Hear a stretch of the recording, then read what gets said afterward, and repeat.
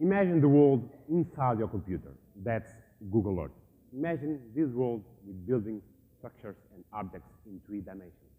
That's Google Earth 3D. Now, imagine if you had your own avatar moving, traveling, and exploring this globe. That is YouBeQ. In our age, billions of people change information every day on the internet. But because of the distance, there's always a lack precision and quality. The problem is, normally when someone is placing content, a picture, a video, or a text, we always get his perspective of the message. Um, besides that, the thing is that um, in, the, in the web world, we are always looking for different ways to communicate.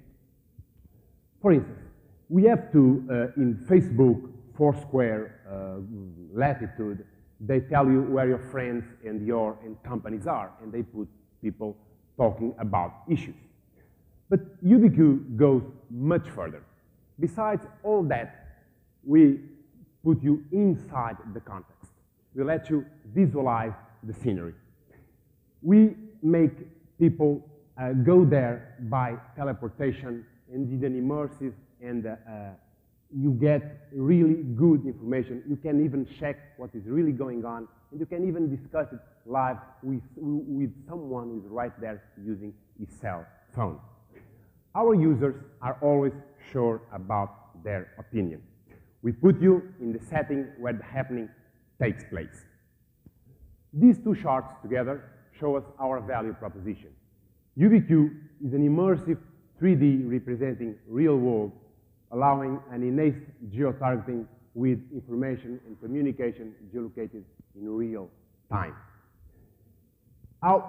With, um, with, uh, with an alpha version, we got 70,000 users and more than 1 million visitors. It's feasible, it's being accepted because it has traction, attraction, and the word is being spread in every country in the world. Besides that, our talent and our value was recognized by Google and Mozilla.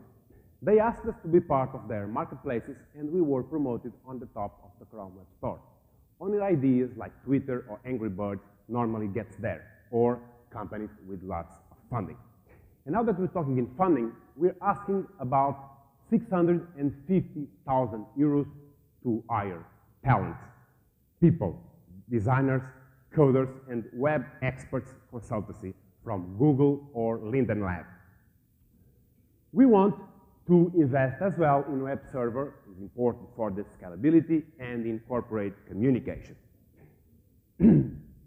we, um, we want all this to achieve 250,000 users in one year and, six, and 500 in one year and a half.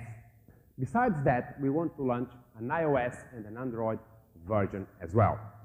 This team is composed by five members, two web developers in products over maps online, a top coder in JavaScript for Google Earth, a guy doing his PhD in psychology, and me.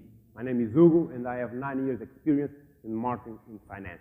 The whole team combined has more than 20 years entrepreneurship experience. Thank you very much.